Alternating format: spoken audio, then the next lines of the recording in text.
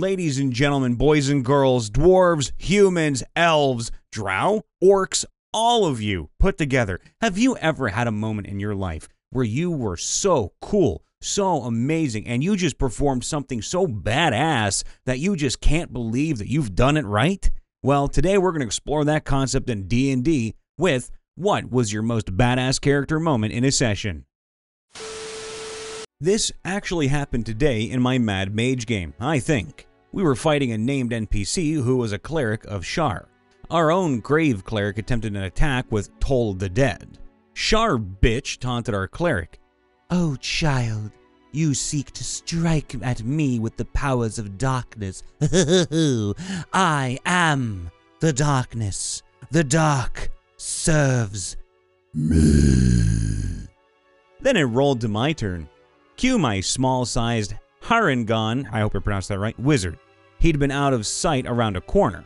When he heard that, he jumped over two of his allies, landed directly in Shar Bitch's line of sight, and glared her down with a rage that made him seem at least one size larger. I made a show of his voice booming through the chamber. If you so love the dark, then bathe in the light of my fire. Oh man, I had so much fun voice acting this one.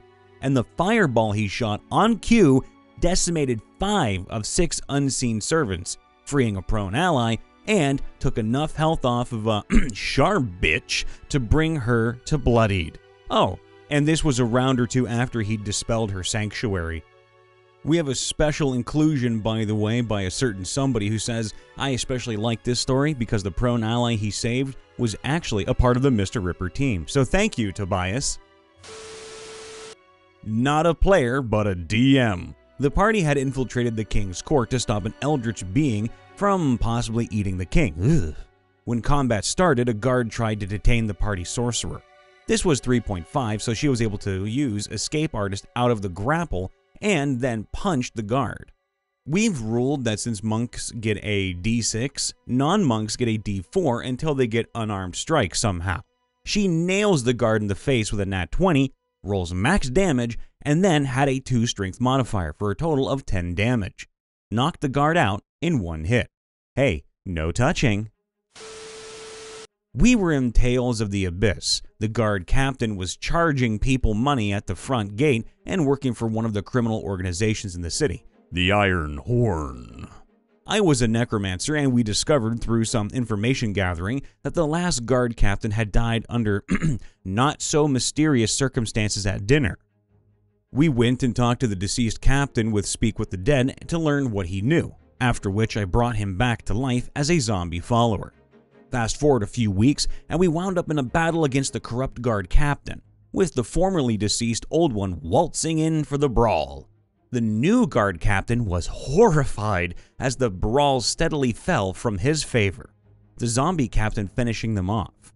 When the corrupt guard captain asked why we did this, I said we were restoring the honor of this city on behalf of the man you murdered. Now there's a statue in the town square dedicated to the dead guard captain who we had left in the catacombs acting as an independent guardian of the city. He's now known as the hero from beyond the grave, who comes when the city is at risk of rotting at its heart. Batman. I currently play in a game every Tuesday, but for a while my character didn't feel like she'd be a good fit. So the DM and I talked about it and came up with a way to switch her out for a bit. When we started talking about what character I'd like to bring in temporarily, I admitted that I hadn't really given it much thought. He suggested a paladin I played years ago named Galleon Lionheart. Now, this campaign was supposed to be a relatively serious campaign, but our party is made up of a purple tiefling bard noblewoman who, at the time, had nothing but utility spells and had never ventured far out from the noble quarter of Neverwinter, an undead barbarian in full plate armor, a kitsune who literally fell from the sky, and a 9 foot tall metal statue in a bear suit. Yeah, weeby dinguses. My regular character is a swift stride shifter Fey Wanderer Ranger. It's telling when the shifter is the least weird character in the group. So when he mentioned playing Galleon, I started giggling like an idiot. you see, Galleon is uh, a, a moron. He's a paladin of Ilmater, but he loves pie. And when he first heard the name Ilmater, he had pie on the brain. So his pie addled brain heard, All platter. His holy symbol is a cherry pie with dripping filling, and the dripping filling is the red strings of Ilmater. Also, he has a stash of pie tins, which he learned how to throw while he was bored. He invented Frisbee, basically. Galleon tries hard, but he's really bad at being a paladin. He has, however, through his special brand of dingusness, ended up becoming something of a legend. Or, as my DM for this campaign put it, Paladin of all platter, holder of the holy pie plate, and the only paladin who is known to possess the ability to smite with pie tins. In the short time he was with the party, he introduced them to Frisbee by rolling a nat 20 to throw a pie tin through a hoop. He got a bardic inspiration, and I asked if I could roll performance to have him dance along with the song the bard sang. Rolled a nat 20 and got a d8 inspiration instead of a d6. And the badass thing he did? In the first combat we were in, he swung at a zombie a couple times and missed. Then said, Alright, I'm getting tired of your shit. You need to die now. the DM and I both chuckled and said, Roll persuasion. Nat 20 plus 7. The zombie just uh, gave up and died. I've never made an enemy die from a persuasion check before, but Galleon is legendary like that. My character is a ranger cleric of the Raven Queen and Curse of Strahd. We were having dinner with Strahd, and here's how one conversation went. I think you're a terrified man, too scared to die, too afraid to lose what doesn't even belong to you. I fear nothing. I am death.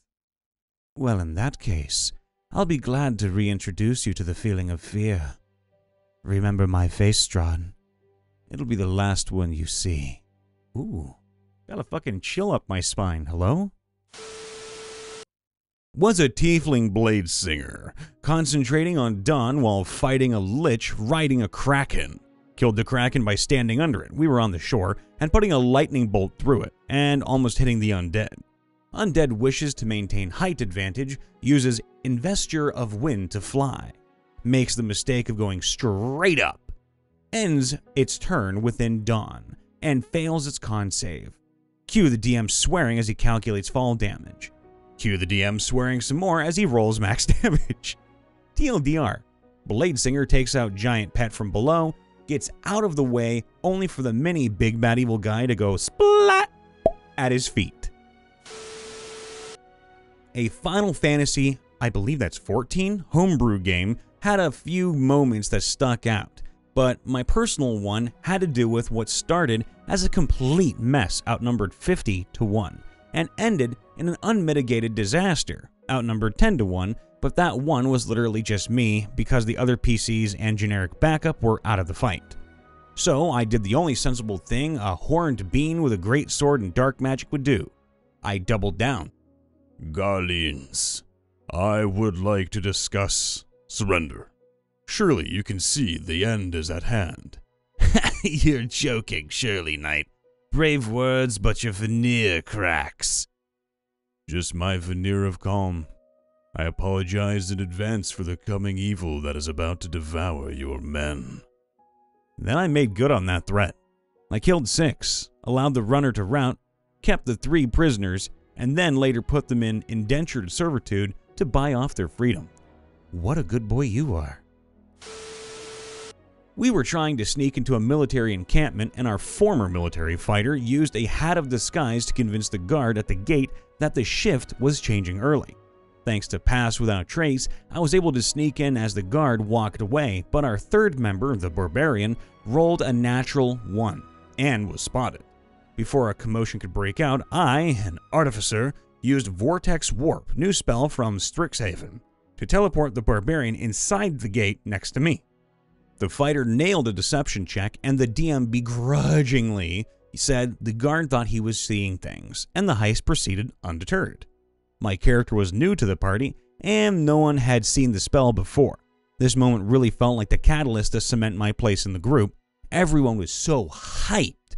And to this day, the group tends to turn to me whenever we need some random bullshit to save a situation. We were playing a Deadlands campaign, Old West with mad science. Ooh, that sounds fun. So I bought a broadsword and cut the arms off several cowboys who had guns, by the way. Very fun. Later, burned down a shed because there were bees in it. Well, that's one way to get rid of a pest problem. Was playing in a game where each PC's characters was A chosen one characters. each born with a special birthmark that marked them, and where special forces for a council of superpowered NPCs would complete missions for them with unlimited jurisdiction. Think Spectres from Mass Effect. Oh, my heart, you mentioned Mass Effect and Spectres. Mm. My character was Lucien Amour Kingston Satana.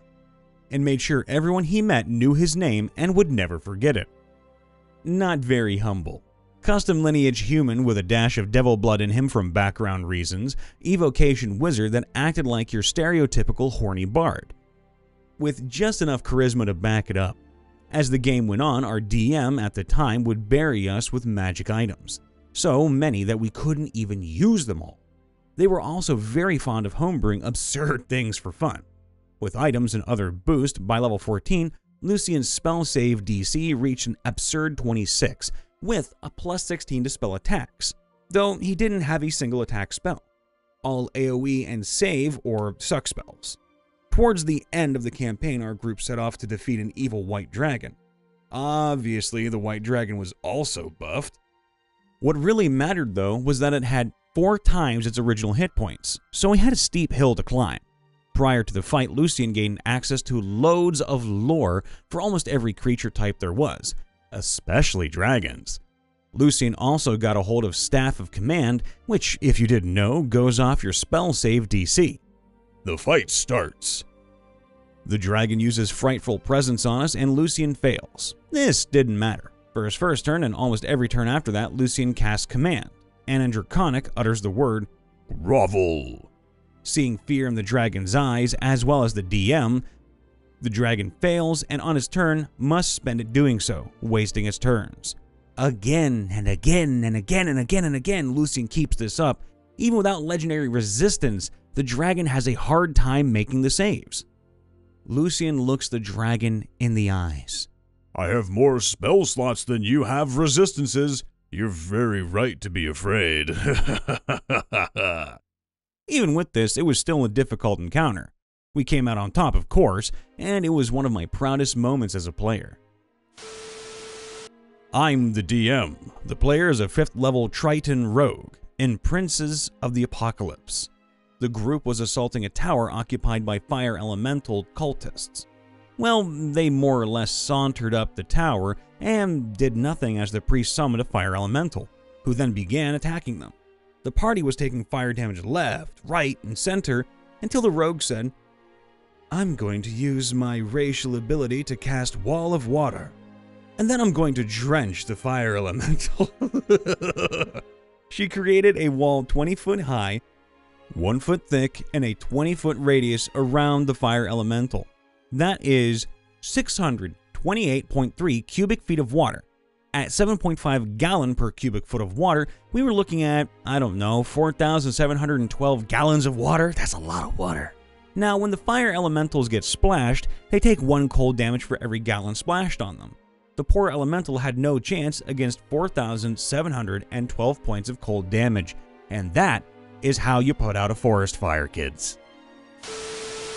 Hey everyone, Brian Von VA checking in after the vid. Make sure to leave a like, to subscribe, and to ring that bell to get notified when we post or go live. If you want to catch us really live though, check out our Twitch page. And if you'd like some one-off 30 second to 60 second videos, check out our TikTok. And if you want to submit a story to us, do so on r slash Mr. Ripper. Links are in the description below. To find me, just check me out on any social media under Brian Von VA. I do a lot of things. And I always try to end things on a positive note. As per usual, I just want to say one thing. Hard work pays off. Now, of course, hard work is different for all of us, and sometimes hard work for one of us is not hard work for another one of us. But don't let that ever define what hard work is for you. Sometimes hard work for you might not be that hard to other people because, well, you might have a physical issue or a mental issue. That's okay though. You do your best. That is the important part in this world. Doing your best and working hard, making sure that you get shit done. And I know sometimes you don't feel like it, but the end result is going to blow your mind. Trust me, I've had years of my life stolen from me because I didn't work that hard, because I had a lot of problems going on. But the moment I said, screw all this shit, I want to get going, man, did I feel good. And it's worth it. And you're worth it. More importantly, you are worth all of that effort and more. Take it. Enjoy it because you only got one shot and you deserve all the love and all the life that you have, or all the love that you're going to be getting and all the life that you're going to have ahead of you. So work your ass off, try your best, and don't let anyone put you down. All the love, be safe. We'll see you next time. Bye for now.